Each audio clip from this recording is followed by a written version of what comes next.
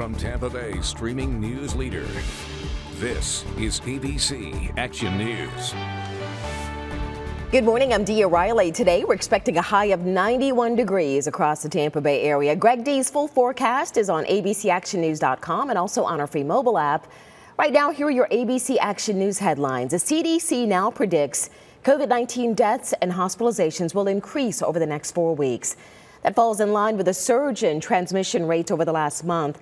According to Johns Hopkins University, there have been more than 618,000 coronavirus deaths so far in the U.S. The CDC predicts that total will reach between 630,000 and 662,000 by September.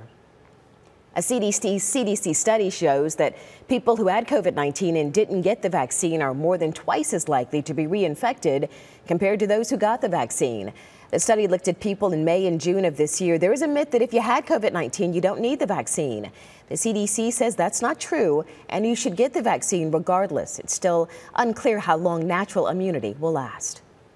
Having been previously infected is not going to give you the same level of protection as being fully vaccinated. We have all the COVID 19 vaccination locations listed county by county on our website. Just go to abcactionnews.com and click on the coronavirus tab. It's at the top of the homepage.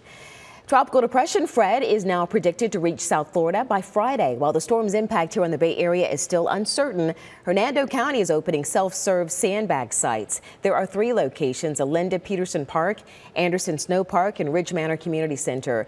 They will be open from 8.30 in the morning until 6 p.m. daily until further notice. Don't forget to bring your own shovel.